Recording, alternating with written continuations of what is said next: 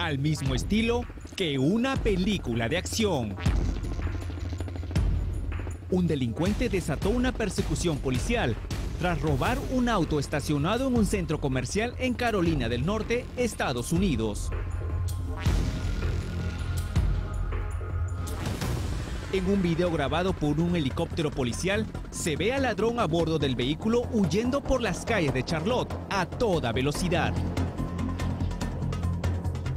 De repente, el ladrón pierde el control del vehículo y choca contra otro auto que estaba esperando el cambio del semáforo.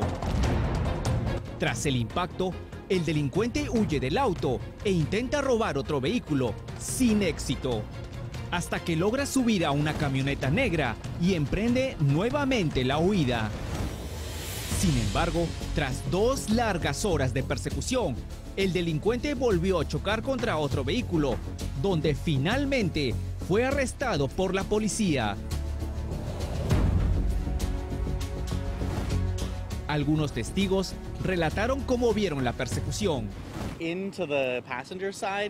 No teníamos idea de lo que estaba sucediendo.